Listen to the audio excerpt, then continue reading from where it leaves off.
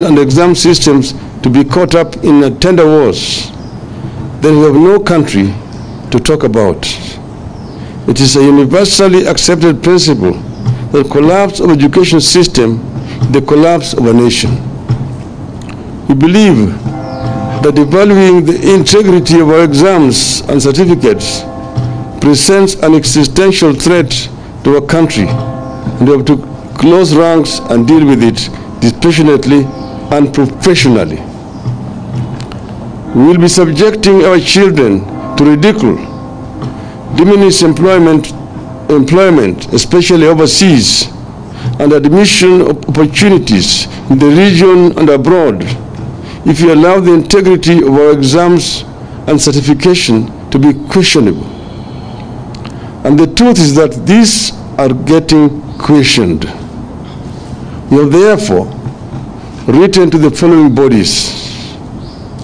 One, the Catholic Bishops' Conference, two, the National Council of Churches of Kenya, three, the Supreme Council of Kenya Muslims, four, the Kenya Secondary Schools Heads Association, five, the Primary Schools Heads and Teachers Association, six, the Kenya National Union of Teachers, seven, the Law Society of Kenya, eight, the Kenya Union of Post-Primary Education Teachers, nine, National Parents Association, 10, the Kenya Private Schools Association, 11, the Ethics and Anti-Corruption Commission, 12, the Directorate of Criminal Investigations, 13, the Federation of Kenya Employers. We know the role of churches and other religious organizations in the education sector since the beginning of last century. We know how much efforts teachers put into ensuring they mold young people into successful products that they can be proud of.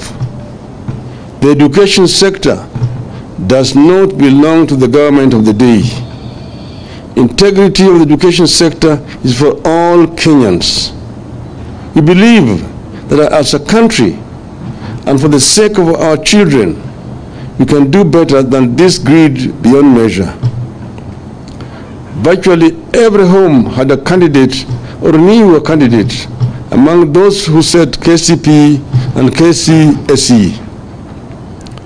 KCP alone had close to 1.4 million candidates. The steps outlined below are critical. One, the circumstances under which the printing of the exams was transferred from the UK to Mombasa Road must be investigated. Two, Kenyans must be told how the integrity of the exams was secured during the transfer from the UK to Mombasa Road and later to another printer in Asia.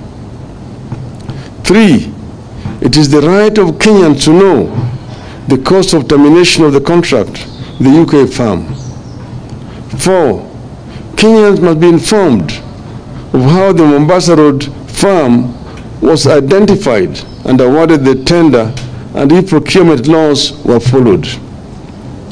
Five, Kenyans must also be informed of how the firm to relay KCP results was identified, whether it is uh, the same the same one that will relay the KCSE results and the way the procurement laws were adhered to.